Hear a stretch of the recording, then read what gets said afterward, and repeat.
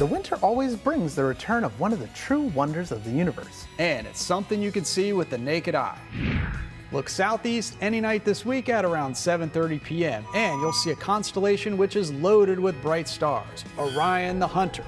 The best way to find him is look for his belt of three stars in a row. Let's zero in on the area just below Orion's belt for three much dimmer stars, the Sword of Orion. There is the Orion Nebula, a great cosmic cloud where new stars are being born. You can find four of them called the trapezium in a small telescope. As nebulae go, this one is gigantic, spanning over 30 light years in diameter. And there's enough material in this nebula to produce over 10,000 stars the size of our sun. So get outside to see the Orion Nebula. Keep, Keep looking up.